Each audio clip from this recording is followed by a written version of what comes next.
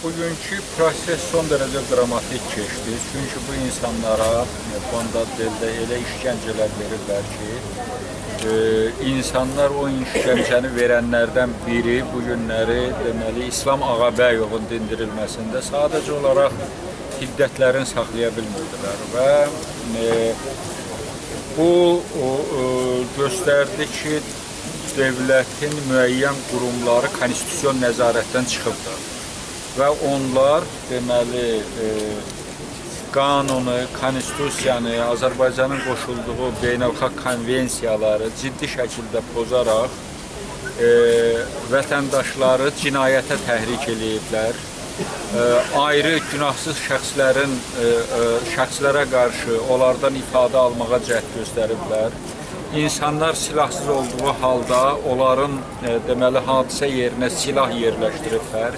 Şəxsən şəxsən e, deməli e, e, saxlanılmış şəxslərin döyülməsində e, iştirak ediblər və proses zamanı o da məlum oldu ki, hakim tərəfkeşlik edir. Əvvəl hakim İslam Ağabəyovu aradan çıxartmağa cəhd göstərdi və e, e, bir e, bir qalmaqal oldu və ondan sonra hakim istəyirdi ki, onun üstündən keçsin, amma təqsirləndirilən şəxslərin və vəkillərin ciddi tələbi ilə yenidən bu məsələyə qayıdır. Bilirsiniz, burada elə detallar var ki, e, sadəcə olaraq Azərbaycan hüquq mühafizə orqanlarında hansı vəziyyətin, hansı qanunsuzluğun, hansı antikonstitusyon hərəkətlərin olduğun bir daha e, e, e, deməli üzə çıxardır. Mən hesab eləyirəm ki, Nardaran hadisələri Azərbaycan bu işə bağlı olan güc strukturlarının, istintaq orqanlarının, məhkəmə orqanlarının hansı faciəli, fəlakətli vəziyyətdə olmasının aydın bir ifadəsidir.